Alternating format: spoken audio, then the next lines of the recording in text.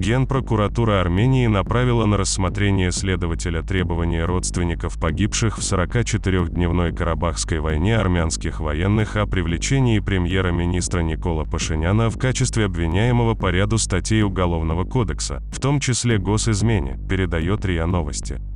Генеральная прокуратура 26 апреля получила отдельное требование о привлечении премьер-министра Никола Пашиняна в качестве обвиняемого по статьям «Злоупотребление должностными полномочиями», «Госизмена», «Превышение должностных полномочий» в рамках объединенного уголовного дела.